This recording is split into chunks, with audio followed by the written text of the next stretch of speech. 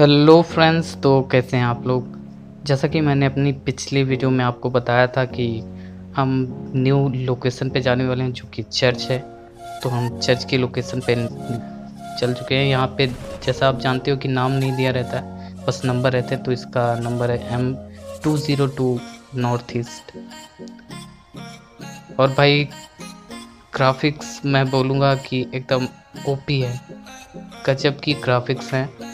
जब आपको ये खेलने को मिलेगा ग्लोबल वर्जन में सीक्रेट मैप, तब आप समझ पाओगे, क्योंकि अभी जो आप ग्राफिक्स देख रहे हो, ये रिकॉर्डेड है और यूट्यूब जानते ही हो कि अपलोड करने के बाद काफ़ी कुछ ग्राफिक्स को रिड्यूस कर देता है और उसकी क्वालिटी भी थोड़ी ब्लर हो जाती है। जब आप इसको खुद खेल पाओगे, तब अलग ही लेवल का आपका एक्सपीरियंस रहेगा इसकी ग्राफिक्स का। बट फिर भी आप देख सकते हो जो घर वर है, वो भी सभी नए कर दिए गए हैं। पुरानी जो स्ट्रक्चर थे उनको चेंज कर दिया गया है बिल्कुल ही।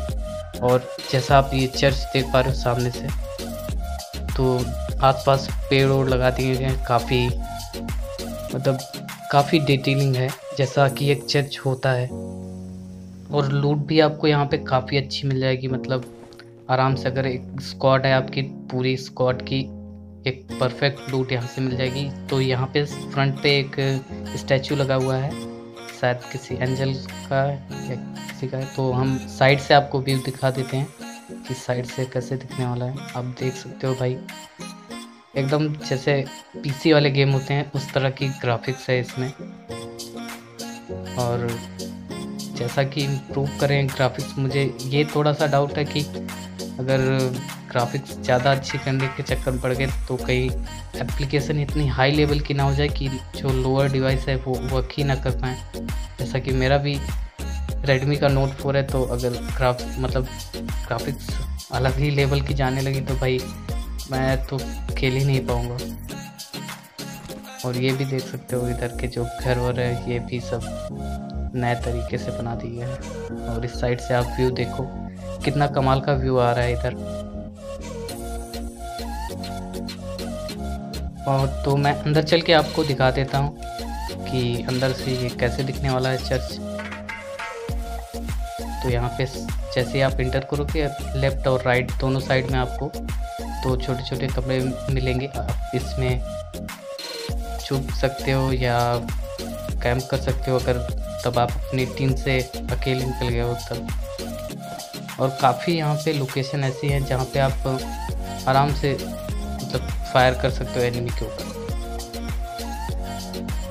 और जो स्ट्रक्चर है, अंदर से चर्च का, वो भी काफ़ी अच्छा है। मतलब ग्राफिक्स बहुत ही कमाल के हैं इसमें की और यहाँ पे कोई भी ग्लिच नहीं, सबसे अच्छी बात यही है। जो जैसे वाटरफॉल था, वो भी न्यू एडिशन थी, उसमें भी। लेकिन काफ़ी सारे ग्लिच थे वहाँ पे। जैसे मैंने एक्सप्लोर किया था, वहाँ से, वहाँ पे लगभग पाँच से छः ग्लिच मैंने खुद पाए थे। बट यहाँ पे कोई ग्लिच नहीं है, और यहाँ पे जो बाहर का एरिया है, वो आप देख पा रहे हैं। जो ट्री लगे हुए हैं, और जो गार्डन है इस चर्च के बाहर का। वो आप देख पा रहे हो कितना मतलब वो भी कितना डिटेलिंग है। और यहाँ पे आके आप छुप भी सकते हो। आपको कोई स्पॉट भी नहीं कर पाएगा अगर आप पहले से यहाँ पे हो। क्योंकि यहाँ पे दिखना तो मुझे नहीं लगता है कि पॉसिबल होगा अगर सामने से कोई आ रहा है और उसको ना पता हो। तो आसानी से वो देख नहीं सकता है और आप उसको आराम से सूट कर पाओगे उसके ऊपर।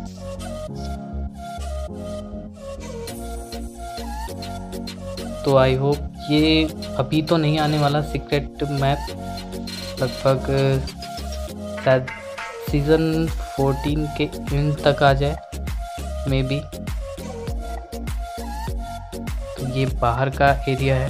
यहाँ पे एक आपको गराज मिल जाएगा। यहाँ पे नॉर्मली मुझे बाइक ही मिली है बट कभी कभी यहाँ पे बग्गी और क्यूएस भी मिल जाती है। और ये आसपास के एरिया का व्यू है, जो चर्च के पास वाले घर हैं और बाकी सभी चीज़ें। तो ग्राफिक्स भाई, मैं फिर से बोलूँगा, अलग ही लेवल के हैं भाई। तो वीडियो आपको कैसी लगी, ये कमेंट बॉक्स में लिख के ज़रूर बताइएगा।